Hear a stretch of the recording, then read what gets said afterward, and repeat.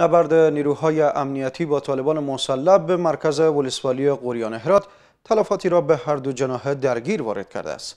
مسئولان امنیتی هرات می‌گویند در نتیجه زد و خورد مسلحانه با مهاجمین سه تن از نیروهای امنیتی و ده تن از طالبان مسلح کشته و زخمی شدند. شرح بیشتر این خبر را در گزارشی از همکارم رسول عظیمی دنبال کنید.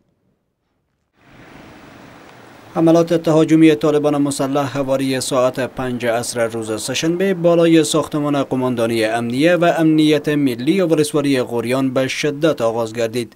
همزمان با این گروه دیگر از طالبان مهاجم به بازار ولسوالی غوریان ریختند و آتشباری میان آنها و نیروهای پلیس اوج گرفت. گفته می شود در آغازین مراحل این زد و خورد مسلحانه پنج تن از نیروهای امنیتی پلیس جان باختند و شماری هم زخمی گردیدند. مسئولان امنیتی هرات اما کشته شدن دو تن از نیروهای امنیتی و زخم برداشتن یک تن از سربازان پلیس در نتیجه این درگیری را تایید می کنند. به گفته این مسئولان ده تن از طالبان مهاجم نیز در این نبرد مسلحانه کشته و زخمی شده اند. همچنین شش تن از زندانیان محبس ولسوالی قریان با استفاده از این فرصت از زندان فرار کرده اند. ما یک زخمی و یک شهید داریم زخمی ما سطحی است دولسوالی هم یک دو سه نفر اگر زخمی تو زخمی مرمی نیست. زخمی که خدا دیوارا انداختن و دست پایشان اوگار شده زخمی دیگه نیست. و مدیریت امنیت ولسوالی هم یک نفر شهید داره. در همین حال یک تن از نمایندگان مردم هرات در شورای ملی که به ولسوالی قوریان سفر نموده حمله گروهی طالبان مسلح بالای این ولسوالی مرزی کشور را از دسیسه های استخبارات نظامی پاکستان می داند. او می‌گوید پنج تن از سربازان پلیس و افراد ملکی در این نبرد مسلحانه زخمی شده اند.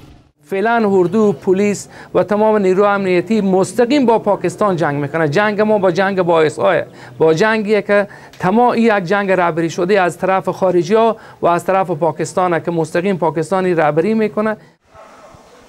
مسئولان قوای سرحدی در غرب کشور اما رسیدن به موقع نیروهای کمکی به محل نبرد را عامل پیشگیرانه از ورود خسارات بیشتر به مردم و اماکن دولتی در این ولسوالی می دانند.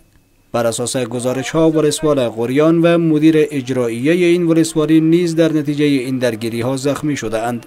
هرچند از آغاز سال جاری تا کنون چند بار دیگر نیز طالبان مسلح بالای مراکز نظامی این ولسوالی غربی هرات حمله ور شدند اما بر اساس گفته های باشندگان این ولسوالی با آنکه از سقوط احتمالی ولسوالی غوریان به دست طالبان مسلح به مقام های بلند نظامی هرات هشدار داده بودند اما کم توجهی مسئولان نظامی در راستای تأمین امنیت این ولسوالی نسبتا آرام هرات باعث شعلور شدن آتش جنگ در این ولسوالی گردید.